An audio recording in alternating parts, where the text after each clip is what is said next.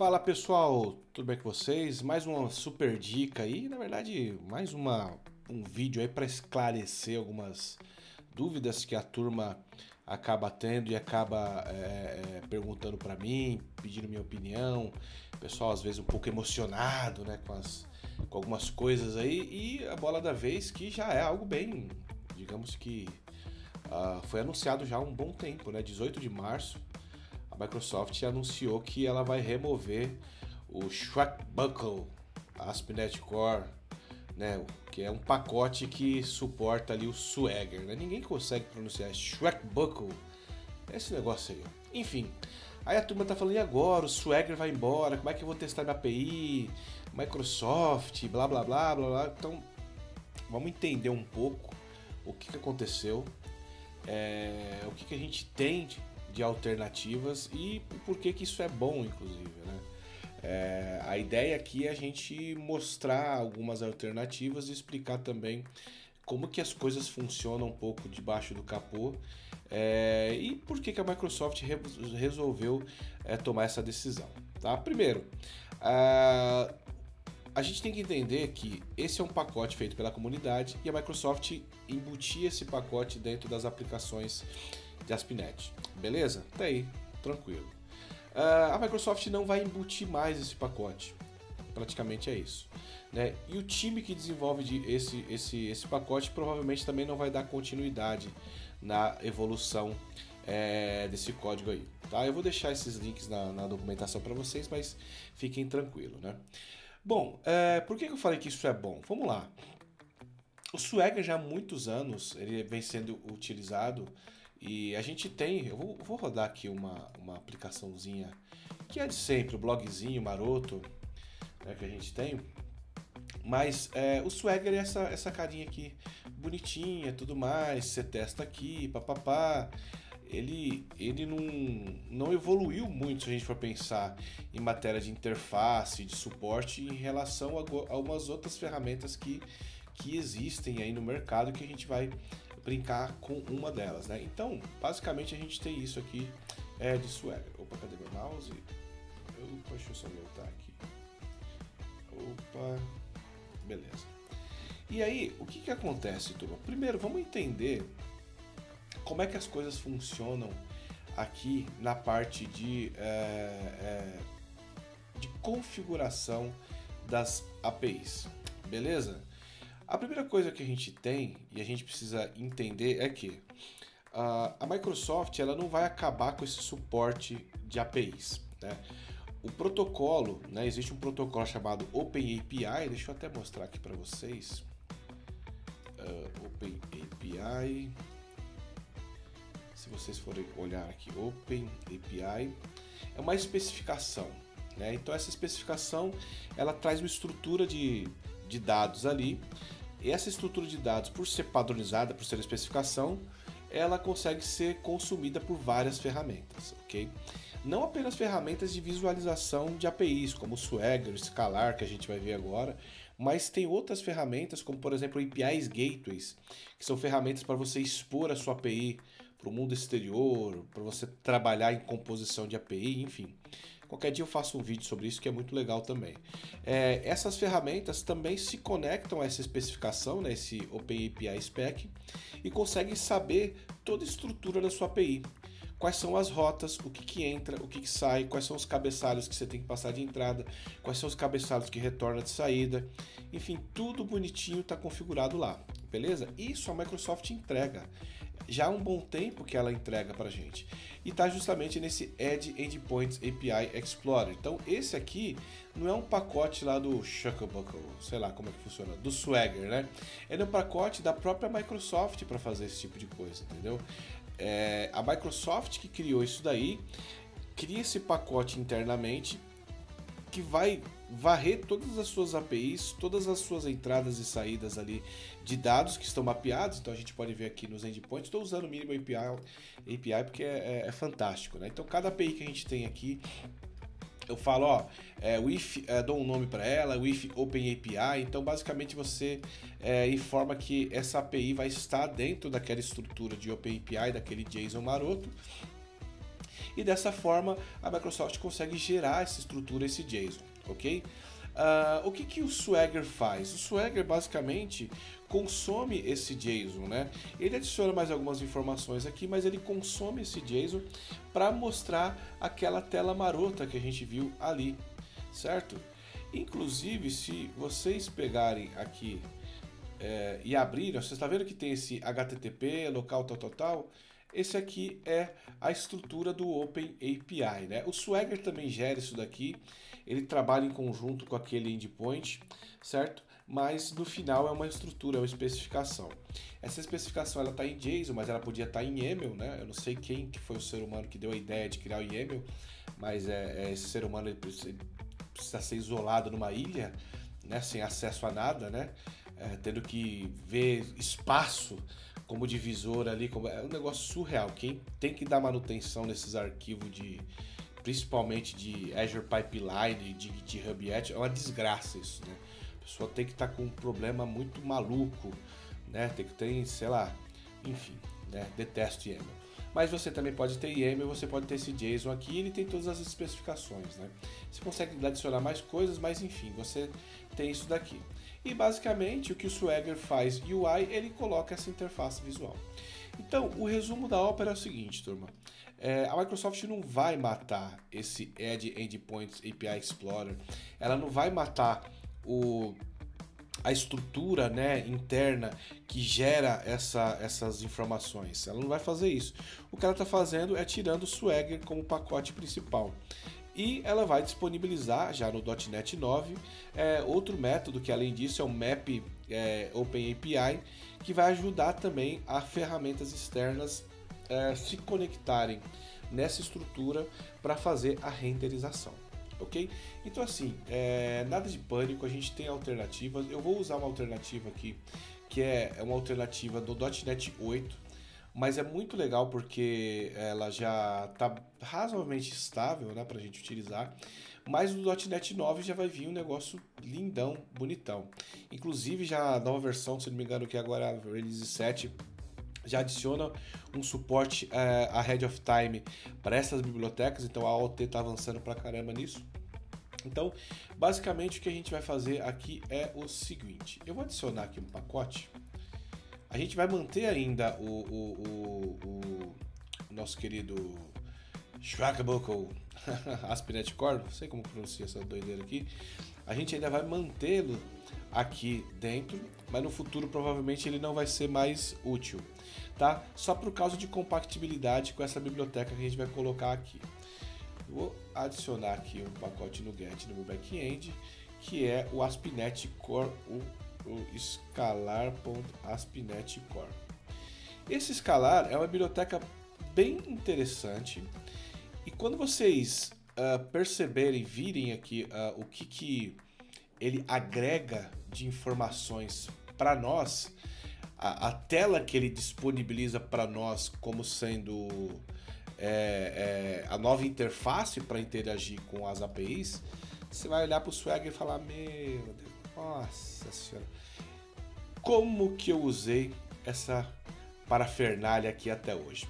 Então, basicamente, vamos adicionar o, o, o, o namespace. E aqui, ó, tem algumas coisas interessantes. Você pode adicionar aqui de boa a parte do, do, do gen, certo? Você pode configurar para de repente pegar arquivo de, de XML, por exemplo. Eu tenho uma shared aqui que, que separa os modelos poderiam estar documentados e tudo mais. Você gera o seu XML, ele automaticamente carrega essas informações aqui como parte da documentação da API. Isso é uma boa prática, tá? Então, se vocês. É, eu recomendo que vocês façam isso, a gente pode até evoluir. Fora do vídeo, depois eu implemento isso, se não ficar muito burocrático, né?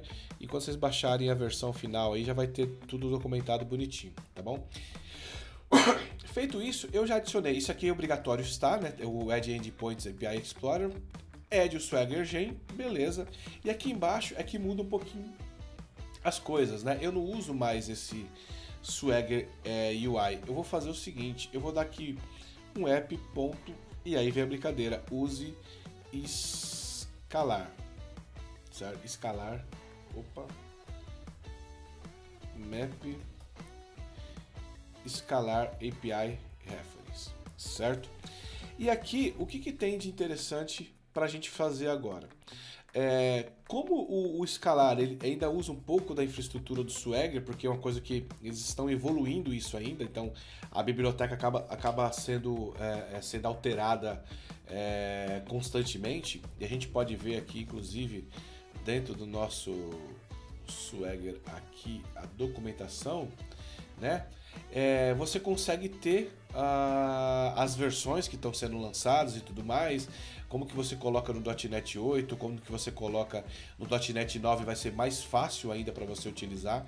Então, por exemplo, no .NET 9 basicamente vai ser isso daqui.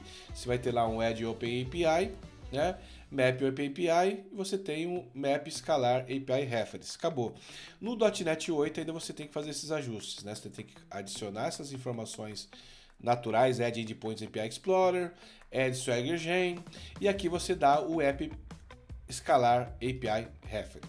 Só que no use, aqui é uma coisa interessante, no use Swagger eu tenho que mudar o template da rota de onde ele pega é, o arquivo é, JSON para ele poder mapear. Então, por que isso? Você lembra que o Swagger ele retornou aqui para nós um JSON? Deixa eu ver se ainda está aqui. Esse aqui está como Swagger barra V1 barra Swagger JSON. Então, é, o escalar aqui ele tem outra estrutura que é uma estrutura padrão do Open API. Então ele espera que seja Open API o nome do documento e uh, JSON no final. Por que isso?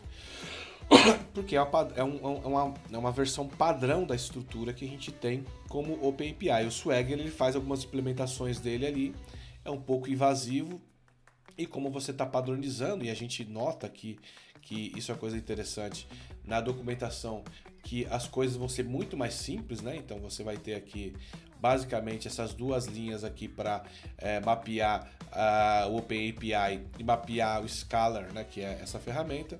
Feito isso, você acaba tendo é, o uso disso é, rodando um, lindamente. Ok? Feito isso, o que, que a gente tem? Pronto, só isso, nada. Vamos executar aqui. Se tudo der certo e nada der errado, a gente vai uh, ter aqui nosso escalar funcionando. Bom, o Swagger aqui ele deu 404, por quê? Porque não existe mais, né? Mas eu posso dar um escalar barra V1. E olha que coisa fantástica. Então, só aqui, só aqui, a gente já começa a perceber que tem uma diferençazinha, é, convenhamos, né? Gigantesca. Vamos dar uma olhada aqui, né? A, a, a, interface visual ela é muito mais robusta do que o Swagger, né?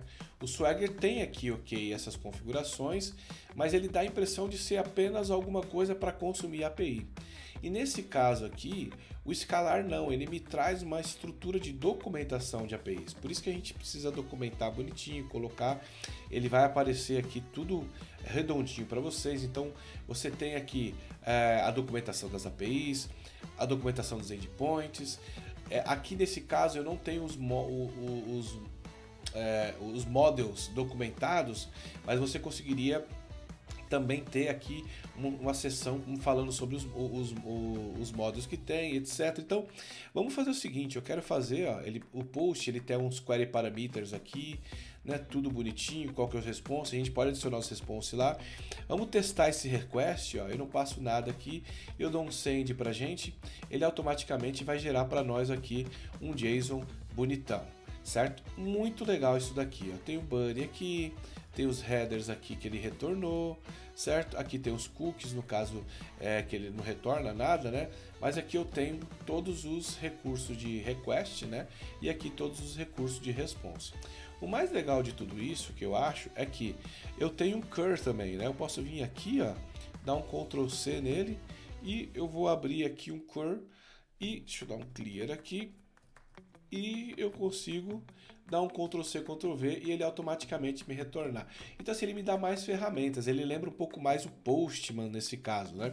Mas aí eu consigo expor, né, essa, esse endpoint é, do Scalar de forma é, internamente na minha empresa, ou se de repente for uma API pública, uma API aberta, eu consigo disponibilizá-la é, para quem quer consumir, enfim.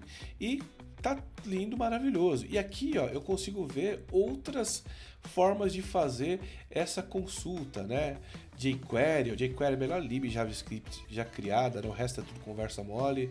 E aqui, ó, C, uh, Clojure, C Sharp, HTTP Client, ó. Se você já quiser consumir essa biblioteca no C Sharp, ó, já está aqui de um jeito não tão é, ortodoxo, tá? Porque a gente não não costuma utilizar o HTTP Client dessa forma, né? Utiliza o HTTP Client Factory para fazer isso, que é uma boa ideia de vídeo também. Mas enfim, ó, eu preciso ter aqui, sei lá, Shell, Swift, ok, meu, que Vamos ver que linguagem é essa. Nossa, tem um. Meu Deus do céu, isso aqui é um caractere especial. Você tem que fazer um Alt Shift 47892 aqui para ter esse, esse caractere aqui para usar, só para fazer um request. Que maluquice. Mas enfim, eu tenho toda essa, essa infraestrutura aqui. E, e, poxa, não tem nem o que falar. E o Ruby e tudo mais, as bibliotecas, me, mesma coisa. Então, é, essa é, acho que, a, a principal Mensagem, turma. Uh, o Swagger em si, a ferramenta, foi de arrasta, foi pro limbo, é, não evoluiu, poxa, faz parte. A Microsoft está trabalhando para melhorar cada vez mais essa parte de documentação de API, que já está bem robusta, bem legal. Está adicionando suporte a AOT, né? Eu já até escrevi um post aí sobre isso é, sobre a AOT e JIT, a diferença, por que, que a Microsoft está fazendo toda essa movimentação. O .NET 9 chega aí uh, nos próximos, talvez em novembro, a gente está em agosto, setembro, outubro, novembro, três meses aí, mais ou menos. Agosto já foi também, dia 29, vixi, agosto, setembro. Então, mas temos um tempinho antes da chegada do .NET 9 que vai facilitar a nossa vida. Então, o escalar é uma das alternativas. Beleza? Simples de colocar, simples de configurar, funciona super bem e tem muito o que falar não. Fechado? Vou subir aqui é, essa documentação, esse, esse projeto já está versionado. Vou mandar mais um, um pull request ali adicionando o escalar como parâmetro disso daí. E qualquer dúvida, poste aí. Se você utiliza outra ferramenta é, no lugar do Swagger, posta aí. Vamos ver se a gente brinca, faz outro vídeo também brincando com essa ferramenta. Ou ainda, você criou a sua ferramenta, você criou o seu, uh, o seu sitezinho para listar. Tem, conheço uma galera que ficou desesperado e começou a criar também. Posta aí para a gente dar uma olhada. Beleza? É isso, pessoal. Bom dia e é nóis. Valeu!